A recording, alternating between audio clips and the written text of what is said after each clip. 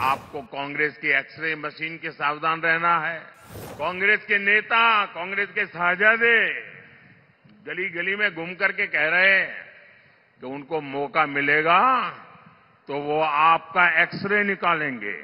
फिर कहते हैं वो हम बांट देंगे, ज़्यादा जो है ले लेकर के बांट देंगे।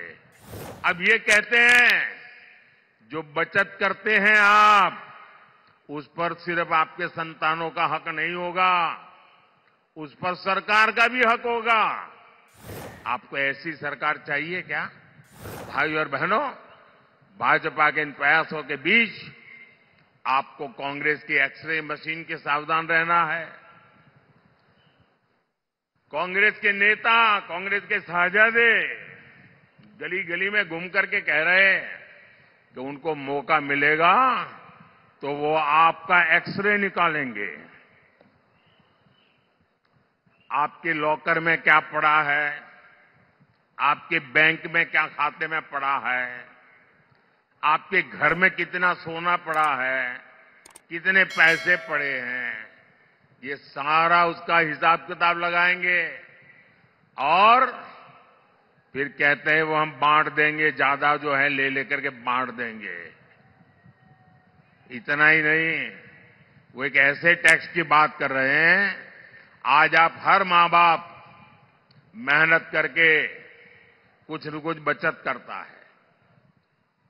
अपनी ज़रूरत को कम करके बचत करता है, क्योंकि उसके मन में रहता है कि मरने के बाद बच्चों को कुछ दे करके जाऊँ, अपने संतानों को कुछ दे करके जाऊँ, और इसलिए वो कुछ न कुछ बचत करता है।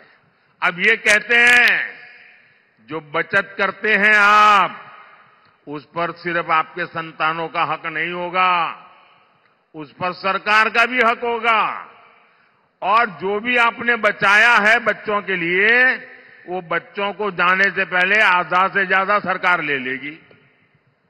अगर आपके पास दस एकड़ की ज़मीन है, अब आपको दस एकड़ की ज़मीन बच्चों को नहीं दे पाएँगे, पाँच एकड़ सरकार ले लेगी। आपने गाँव में घर है शहर में घर बनाया है तो घर गया समझ लीजिए। अब मुझे बताइए, आपको ऐसी सरकार चाहिए क्या? जो आपकी मेहनत का पैसा लूट ले, ऐसी सरकार चाहिए क्या?